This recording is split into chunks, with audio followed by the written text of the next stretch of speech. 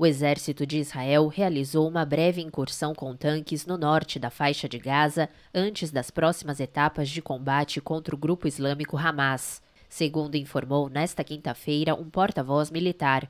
Um dia depois de o primeiro-ministro Benjamin Netanyahu reafirmar que suas tropas irão realizar uma intervenção terrestre no enclave palestino. Na operação, o porta-voz detalhou que, abre aspas, soldados localizaram e atacaram numerosos terroristas, infraestrutura terrorista e locais de lançamento de mísseis antitanque, fecha aspas. Ainda segundo o porta-voz, as forças israelenses operaram para preparar o campo de batalha e deixaram a área no final da atividade.